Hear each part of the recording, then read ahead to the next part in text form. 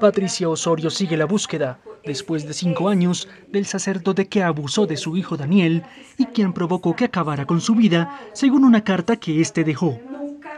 El hecho ocurrió en el Colegio San Viator, uno de los más prestigiosos de Bogotá, en Colombia, donde su hijo se destacó en sus primeros años por ser un muy buen estudiante.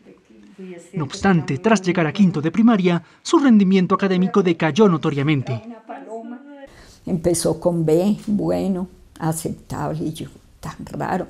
Entonces, mm, eh, bueno, terminó el año quinto y todo, y pasó a sexto grado. Fue allí cuando Patricia notó que algo realmente no andaba bien con su pequeño. El niño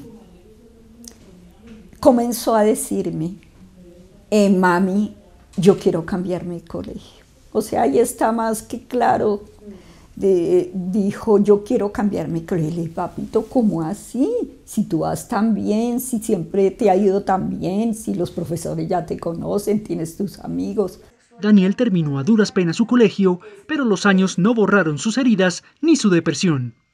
A los 21 acabó con su vida, revelando en una nota la verdad de lo ocurrido. Cuando vi casi me muero. Es, es, lo que más me ha dolido en la vida, mejor dicho, el dolor indescriptible, fuera de todo lo que yo ya había soportado hasta el momento.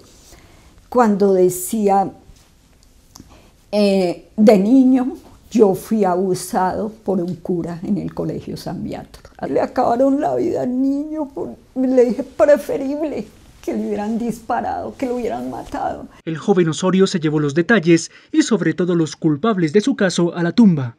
Media década ha pasado y este sigue en la impunidad. Patricia reclama que la fiscalía no ha querido investigar. Entre tanto, los abusos sexuales en colegios siguen saliendo a la luz y se vuelven pan de cada día.